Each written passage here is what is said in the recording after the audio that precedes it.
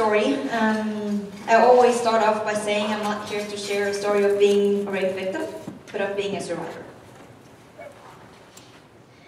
But one night, something strange happens. I was at my boyfriend's apartment and we watched a movie. And when we were together, we basically we had no worries.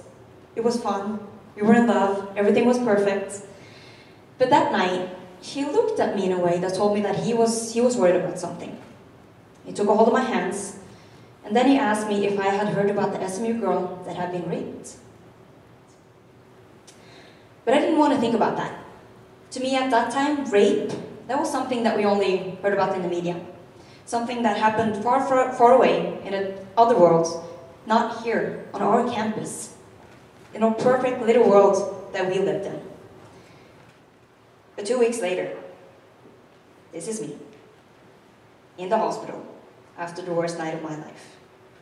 It makes me absolutely sick to think back upon that night, how I responded to my boyfriend at the time.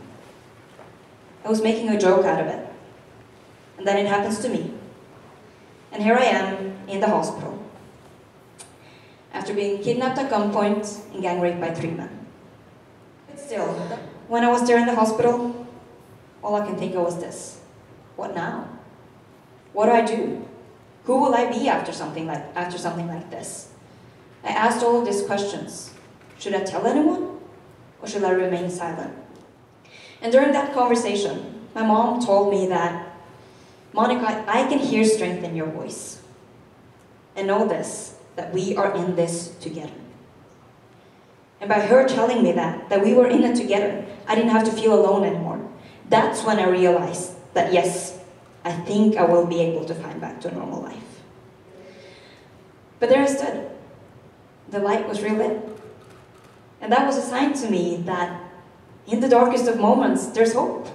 And sometimes that's all it takes. One person that can turn to you and say, you know what, there's still hope. I'm here to show you that there's hope.